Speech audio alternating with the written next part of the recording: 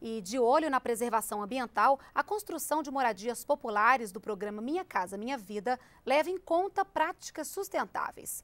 Para economizar energia, por exemplo, a casa tem aquecimento solar. Confira na reportagem de Paulo La Sálvia. Redutor de água na torneira da cozinha e do banheiro. Sensor de luz no corredor do prédio. São soluções que ajudam na redução do consumo de água e luz preservam a natureza e trazem economia para o bolso. A questão da sustentabilidade é uma preocupação das Nações Unidas. Um terço da energia consumida no mundo ocorre dentro de prédios, que também consomem 12% da água potável do planeta.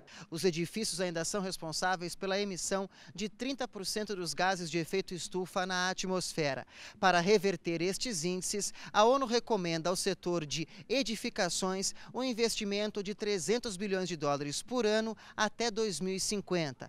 O governo brasileiro também participa desta iniciativa, com os critérios de sustentabilidade do programa Minha Casa Minha Vida. As residências térreas, elas têm que ter o sistema de aquecimento solar, que contribui para economia de energia, né, pode, a gente pode economizar 35% até 40% de energia elétrica com o uso do sistema de aquecimento solar. Os critérios de sustentabilidade foram inseridos no Minha Casa Minha Vida há um ano. Este residencial em São Sebastião, cidade que fica a 26 quilômetros de Brasília, foi construído em 2009 pelo programa.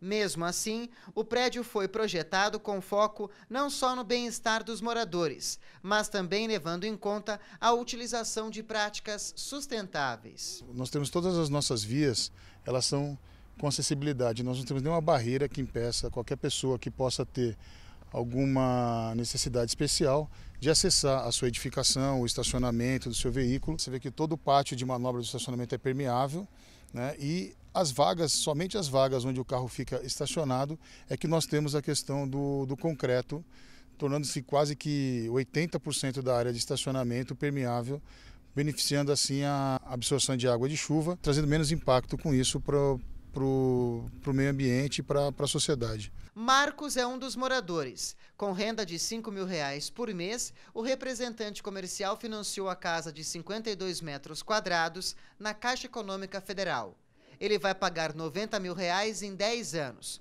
Os juros são de 8% ao ano. O imóvel ainda recebeu um incentivo do Minha Casa Minha Vida no valor de 3 mil reais. Feliz com o sonho da casa própria realizado, Marcos ainda aponta outra prática sustentável no local onde mora: a coleta seletiva de lixo. A gente procura fazer selecionar o material, garrafa PET, óleo de cozinha, e distribuir na, no Instituto de, do, da Ecoama, que faz a coleta. Então a gente tem um pouquinho mais de trabalho de levar, mas consequentemente a gente está ajudando aí o bairro.